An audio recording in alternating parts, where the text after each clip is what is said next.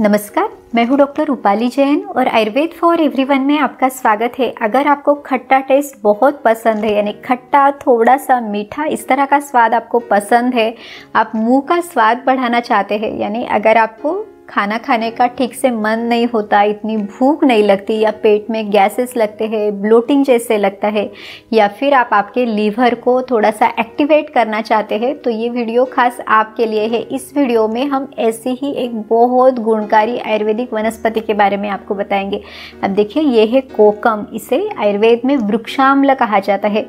हिंदी में इसे कोकम कहा जाता है। इसके अलावा मराठी में इसे आमसूल या कोकणी आमसूल, यहाँ तक कि कोकम भी इसे कहा जाता है। इंग्लिश में इसके पेड़ को कोकम बटर ट्री कहते हैं। जनरली ये महाराष्ट्र और कोकन में आराम से मिल जाता है। इसके जो फल रहते हैं, वो गोल रहते हैं और ये पकने पे जामुनी लाल रंग के होते हैं। इसमें बीज रहते हैं। तो इन बीजों को निकाल के जब फलों को सुखाया जाता है तो इन फलों को कोकम या आमसूल कहा जाता है।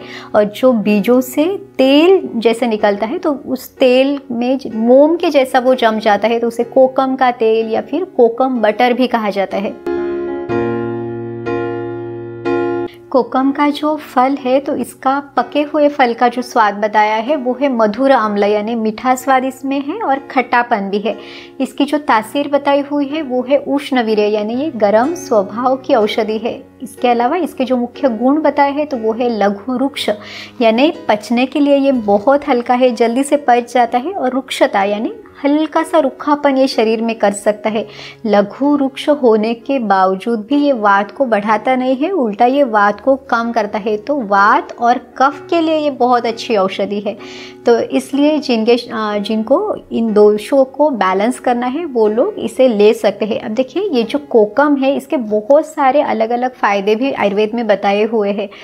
जैसे ये तृष्णा निग्रहण करने वाला किसी को अगर बहुत ज़्यादा प्यास लगती है, गला सूखता है बार बार पानी पीने का मन करता है तो वो इस कोकम का सेवन कर सकते हैं। ये दीपन करने वाला, यानी जो हमारा जठराग्नि है, उसको बढ़ाने वाला है, रुचिकर है, यानी मुँह का स्वाद बढ़ाने वाला है। यहाँ तक कि इसे यकृतो तेजक कहा गया है।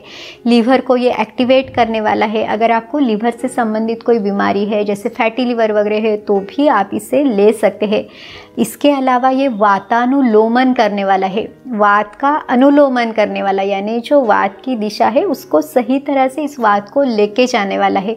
तो इसीलिए किसी को पेट में गैस लगती है या फिर ब्लोटिंग है, पेट में भारीपन है या बहुत ज़्यादा डकारें आती है तो उन सभी तकलीफ़ों को कम करने के लिए ये कोकम मदद करता है।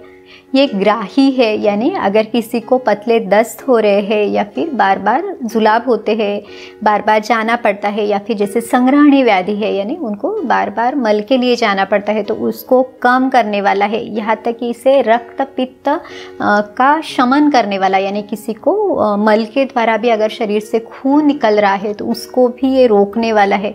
तो इस तरह से बहुत सारे फ़ायदे हमें इसके मिलते हैं। हार्ट के लिए भी ये बहुत अच्छा टॉनिक है। अगर किसी को बार बार बुखार आता है, शरीर में जलन होती है तो वो लोग भी इसे ले सकते हैं।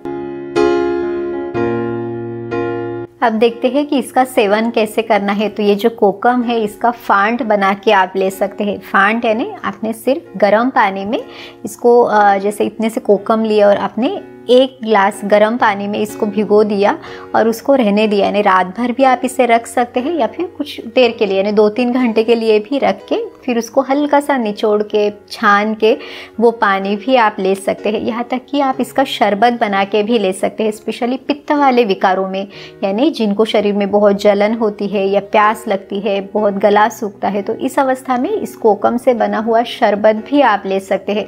एक सोल कढ़ी नाम से भी महाराष्ट्र और कोकन की तरफ़ एक बहुत ही ट्रेडिशनल रेसिपी बनाई जाती है, जिसमें कोकम को जो कच्चा नारियल है उसके साथ इस्तेमाल करके सोल कड़ी को बनाया जाता है। तो ये भी बहुत टेस्टी रेसिपी है। इसके अलावा आप जैसे दाल को छोका दे रहे हैं तो उस छोके में भी एक खट्टा मीठा सा टेस्ट उस दाल को आने के लिए आप उसको यूज़ कर सकते हैं। बहुत ही कम क्वांटिटी में इसे डालना पड़ता है। तो आप इसे दाल में भी यूज़ कर सकते हैं। यहाँ तक आप कोई चटनी बना रहे हैं और आपको थोड़ा खट्टा स्वाद उसमें चाहिए, तब भी आप इस कोकम को वहाँ पर यूज़ कर सकते हैं। तो इस तरह से ट्रेडिशनली भी हम इस बहुत अच्छी औषधि को हमारे खाने में ही इस्तेमाल कर सकते हैं।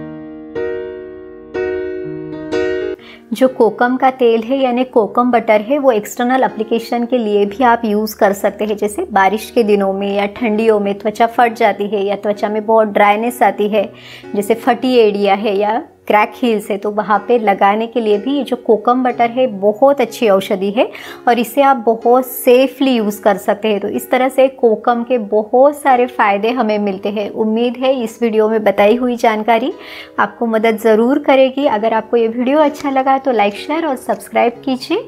फिर मिलेंगे अगले वीडियो में। आयुर्वेद को अपनाइए, स्वस्थ रहिए। नमस्कार।